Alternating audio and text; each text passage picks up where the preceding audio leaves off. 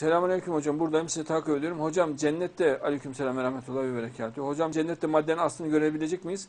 Sizleri çok seviyor. Hayırlı günler. Allah'a emanet olun Ayşe. Hayır. Biz Allah'ın kendini bildiği gibi Allah'ı bilmemiz imkansızdır. Yani sonsuza kadar imkansızdır. Haşa Allah'ı biz Allah'ın kendini bildiği gibi bilmemiz için Allah olmamız lazım. Bu mümkün değildir, imkansızdır. Maddenin aslını da asla bilemeyiz. Hiçbir zaman içinde bilemeyeceğiz. Biz Allah'ın gösterdiği kadar bileceğiz. İnşallah. Dışarıdaki maddenin aslına sadece iman ediyoruz biz. Aslını göremiyoruz, bilmiyoruz. Bilimsel olarak sadece e, bir tahmin var. E, karanlık olduğu yani il- ilmi olarak karanlık olması gerekiyor ve renksiz olması gerekiyor. Ve saydam olması gerekiyor bilimsel olarak. Ama hiçbir zaman için aslıyla muhatap olamıyoruz. İnşallah. Mesela evde eşyalara baktım. Aman ya Rabbi Cenab-ı Allah ne kadar titiz, ne kadar bize güzellikler sunmuş. Allah Allah. Kardeşim her yerde bir ihtiyaca yönelik bir şey yaratmış ya. Bakıyorum. Ne kadar acayip. Mesela bak burada bakıyoruz. Fincan. Niçin? Kahveyi içelim diye. Ama bayağı süslenmiş. Hoşumuza gitsin diye. Mesela bak tesbihin taşlarını yaratmış. Allah onları da ipe dizmiş. Hoşumuza gitsin diye. Hoş bir yosun rengi de vermiş. Efendim. Sesini bile çok güzel yaratıyor. Evet. Değil mi? Bak şıkır şıkır şıkır şıkır. Maşallah. Mesela parıltısını çok güzel yapmış. Dışarıdaki aslını göremiyoruz, bilmiyoruz. Saydam dışarıdaki aslı. Ve karanlık ışık olmaz. Renk de yok. Bu e, düşünme ve düşünmeyle bulunan bilgi Allah'tan ilhamla gelen bilgidir. Kur'an bize konunun özetini anlatır Cenab-ı Allah. Ne, ne olacak? Ne anlatıyor Allah? Ben varım diyor. Birim. Sizi yarattım. Seviyorum sizi diyor. Sen, sizin de beni sevmenizi istiyorum diyor. Benden korkun. Ama aşk korkusu olsun bu diyor Allah. Size cennet yarattım. Ben kendim sonsuzum diyor. Siz de sonsuz yapacağım diyor. Başlangıcınız olacak, sonunuz olmayacak diyor Allah. Size en güzel nimetleri sunacağım. Ama bana sevginiz çok coşkulu olacak diyor. Bana şüphe gözüyle bakmayın. Bana hüsnü zanla güzel gözle bakın. Ben hikmetle yaratıyorum her şeyi diyor. Bir hayır hayırla yaratıyorum. Sizi imtihan ediyorum. İmtihanda haklıyım diyor Cenab-ı Allah. Çünkü imtihansız aldığımda, Hazreti Adem'i aldığımda gördünüz diyor. Olmuyor diyor. Sizi imtihanla alacağım. Yani ben yaklaşık tabii Cenab-ı Allah tam böyle demiyor da anlaşılan şekli anlatıyorum. Sizin zevk almanız, mutlu olmanız benim hoşuma gidiyor Cenab diyor Cenab-ı Allah. Beni sevin. Sizin mutluluğunuzu ben de zaten yaşıyorum diyor Allah. Sizin aldığınız hazların hepsini ben de zaten ben ben de alıyorum diyor Allah. Çünkü biz mesela ağzımıza bir şey lezzet aldığımızda Allah da aynı anda alır. Çünkü o yaratıyor aslında zaten.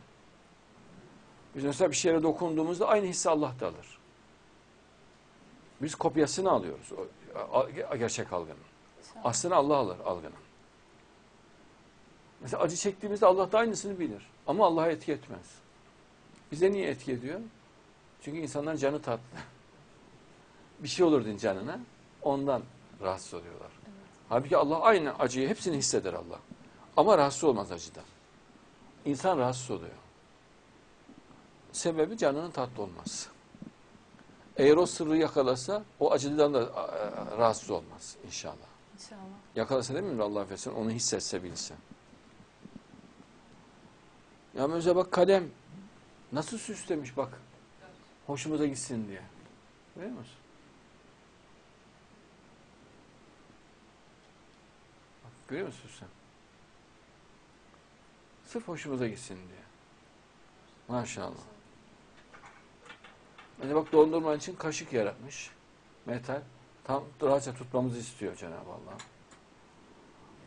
Kur'an'ı kitap olarak hazırca karşımıza yanımıza getirmiş Cenab-ı Allah.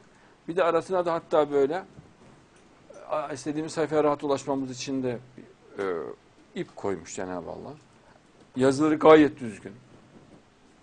Bütün an- anlatı gayet düzgün. Mesela sabah Tevrat okudum. Sayfalarca adam kesmeyle ilgili kısımları anlatıyor. Şu şunu kesti, bu bunu kesti. Şu şunu kesti, bu bunu kesti. Ya ama ucu bucağı yok. Adamları nasıl doğradılar? Toptan hepsini aldı diyor. Kesti, biçti, bitti. Bitti zannediyorsun. Bir, bu sefer diyor öbürü başladı diyor. Hepsini binanın içine doldur diyor. Tamamını kesti diyor. Kan revan içinde kaldılar diyor. Sonra öbürleri geldi. Onlar da onu kestiler diyor. Ben anlamıyorum yani bu ne- yani niye buna gerek duydular? Yani krallar bölümü. Yani bunun ne faydası olacak insan ben anlamıyorum. Niye Tevrat için onu korlar? Tabii. Mesela Hazreti Süleyman meseleleri güzel. Faydalı, hoş. Büyük bölümü çok güzel. Bu hoş. Evet, böyle güzel ahlakı anlatan kısımlar güzel. Sevgiden bahseden kısımlar güzel. İncil'de de öyle. Meseleler, bölümler var. Mesela çok güzel. Bütün insanlar için Cenab-ı Allah'ın işte eee neyse onu söylemiş mi? O akıl karıştırır. Allah tekliğini çok vurguluyor. Yani şirk koşmayın diyor. Yani bu Allah'ın oğlu denmesi, Cenab-ı Allah bunu istemiyor. Yani ben birim diyor Allah. E belli Allah'ın bir olduğu. Hangi Hristiyan Hazreti İsa'nın Allah olduğuna inanır? Ya mesela şimdi bir- birisi gelse buraya Hristiyan, selamünaleyküm aleyküm selam konuşuyoruz. Hazreti İsa Allah mı desek haşa. Ya utanır adam ya Allah demeye yani Tabii hocam. olması lazım insan ne değil mi? Ya kardeşim yiyor, içiyor, yatıyor, uyuyor. Tabii. Aç kalıyor ya, midesi ağrıyor. Allah olur mu?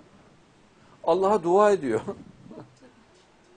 Koskoca insanlar böyle ızdırabın içine sokmanın alemi ne? Herhalde sembolik anlamda söylediler o zamanlar. Tevrat'ta da öyle bir usluf var çünkü. Bütün insanlara Allah'ın oğulları deniyor. Ama sembolik yani o anlam gerçek oğlu anlamında değil. İnşallah. Onu almışlar, bu şekle getirmişler. Yani oradaki ifadeleri. Çünkü bütün insanlara yönelik ifadeler var Tevrat'ın birçok yerinde. Allah'ın oğulları diye geçiyor. E burada geçtiğine göre diyor, o da orada. E kardeşim orada sembolik söylendiği belli. Onu niye öyle gerçek anlamıyla varmışsın gibi anlatırsın? E sonunda da Avrupa'da muazzam bir dinsizlik yayıldı. ızdıraba sebep oldu. Tabii.